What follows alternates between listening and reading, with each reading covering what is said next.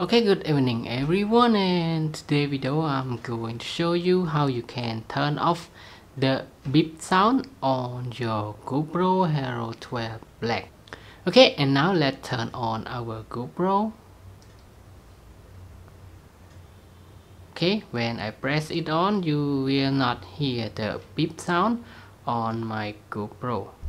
Okay, and to turn it off, when you turn on your GoPro, just scroll down like this and then you will see this music logo just uh, turn it on.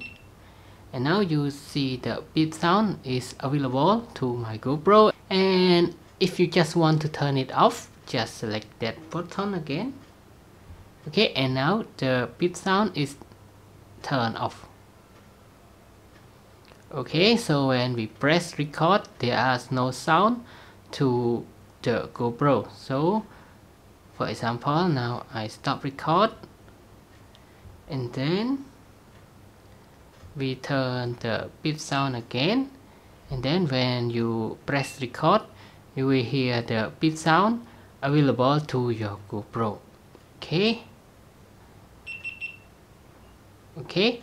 So that's it. That is all for today video of how you can turn on and turn off your beep sound on your GoPro Hero 12 Black. And now thanks for your time watching this short video and I hope to see you again in the next video. Bye bye and have a nice day.